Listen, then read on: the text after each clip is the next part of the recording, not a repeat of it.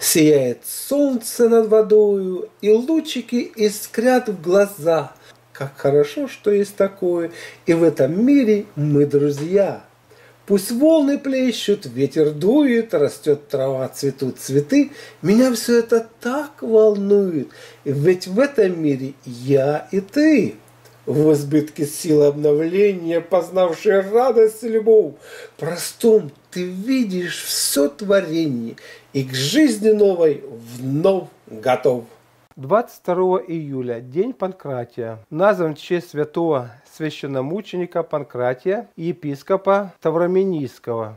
Будучи отроком, Панкратий видел Иисуса Христа, общался с апостолами. В дальнейшем он, отказавшись от имени доставшегося ему по наследству от родителей, ушел в Понтийские горы. В одной из пещер Панкратий пребывал в уединении, посте и молитвах, предавшись самопознанию и находясь в общении только с Богом. В дальнейшем был назначен апостолом Петром в епископы. В этот день пробуют первые огурцы. К этому времени они созревают на грядках. Продолжался сбор черники. Крестьяне даже на некоторое время отвлекались от сенокоса и уделяли время на сбор черники. С ее помощью очищали кровь, лечили печень, укрепляли глаза и многое другое. Приметы. Если уродилось много черники, зима будет морозной. если черника еще не созрела, будет осень холодная. Первый собранный огурец обязательно закапывали в огороде в тайне от соседей. И это обеспечивало хороший урожай. Хозяйка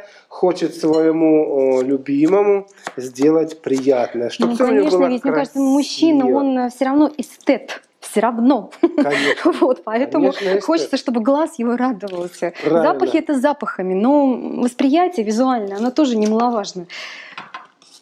Поэтому мы все сделаем красиво. Давайте. И когда все это красиво, у мужчины Это 99% возникает... успеха. Правильно. У, него, у мужчины возникает желание. Вначале съесть.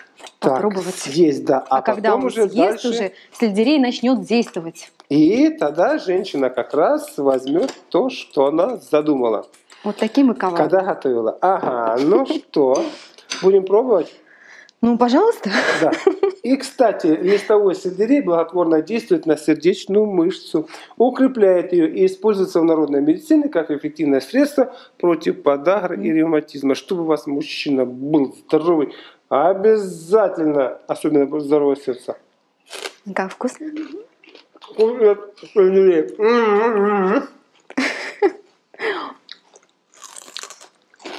Здесь чем дольше жуешь, тем лучше появляется вкус. А вот сейчас мы дошли до остренького. М-м-м. Да, вкус меняется. И вообще содержит большое количество воды, что делает его отличным продуктом для любой диеты.